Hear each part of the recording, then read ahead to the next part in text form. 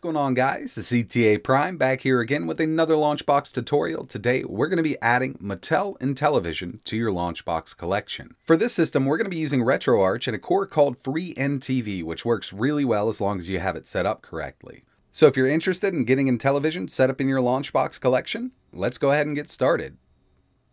So since we're using RetroArch for Intellivision, obviously you're going to need to have RetroArch set up and working with Launchbox. If you don't already have that set up, I do have a full tutorial linked in the description. Go ahead and check that out. When you're done, come on back and we'll get this one set up.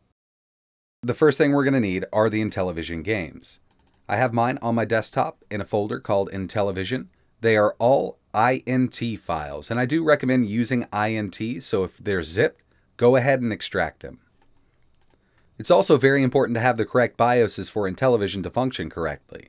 There are two we're going to need here, grom.bin and exec.bin. I'm going to show you how to tell if you have the correct BIOSes, but first we need to place these BIOSes in our RetroArch system folder. So I'm going to head over there. I have my RetroArch folder located Launchbox, Emulators, RetroArch. Inside of here, I also have a folder called System, and this is where all of our BIOSes go for RetroArch. So I'm going to open this up, and inside of here, I have my exec.bin and my grom.bin. So place them in there. Now we're going to launch RetroArch. From the main menu of RetroArch, we're going to head down to Online Updater, Core Updater and we want to find Mattel Intellivision or the FreeInTV core. We're going to go ahead and download this. It's going to extract. Everything's good to go. And we're going to back up. We're not going to exit yet because we want to make sure that we have the correct BIOSes for this core. So from the main menu, load core, and now we want to load up that Mattel Intellivision FreeInTV core we just downloaded. We're going to press enter information, core information. And if we scroll down here, you can see that both of the BIOSes that are required are present and they are correct. So we have our exec.bin and our grom.bin. If for some reason you don't have the correct BIOSes, there is a checksum listed here. This is the MD5. You can check this against the BIOS you have or the BIOS you're going to get to make sure it is the correct one.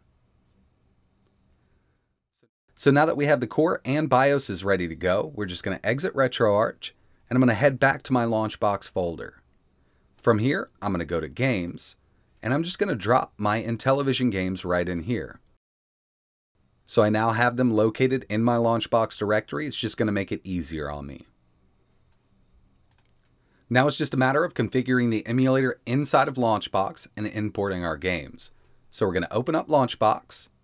From the drop-down menu, we're going to head to Tools, Manage Emulators. We're going to find RetroArch, Associated Platforms, and I've already placed mine all the way at the bottom here. Mattel Intellivision, and I'm using the FreeInTV core. So if you've downloaded the core, you can use the drop-down menu to find it. Mattel Intellivision, FreeInTV, and I'm going to make sure this is checked. This is going to be my default emulator for Intellivision games. Click OK and close. Now it's time to import our games. Drop down menu, Tools, Import, ROM files. From here, I'm going to add that whole Intellivision folder that I added to my games directory. Launchbox is going to automatically scan this and sort everything out for us. Click Next. What platform? We can use the drop-down menu and find Mattel Intellivision. Click Next.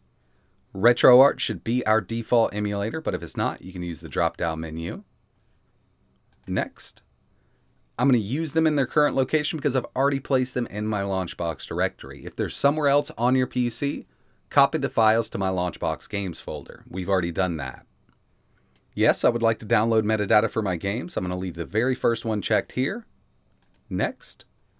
And I want to download as much box art and information on these games as I can. So I'm going to leave everything checked and click Next.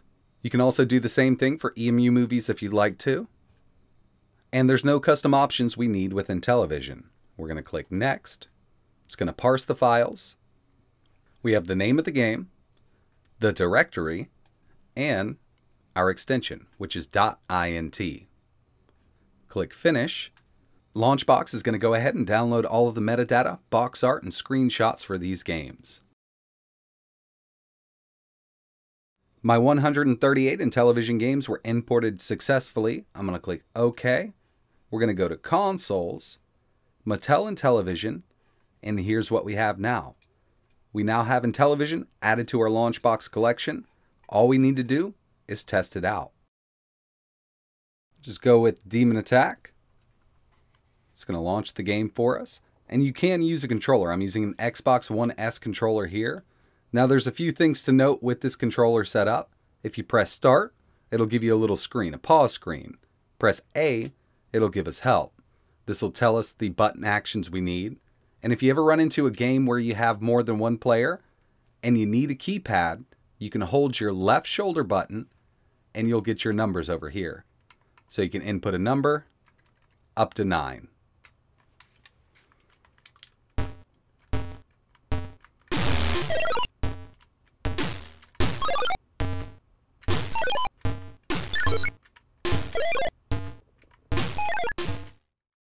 So that's pretty much it for this video, guys. I really appreciate you watching and hope you set up Mattel Intellivision because there are some really great games here. But overall, it's really nice to have this in your Launchbox collection.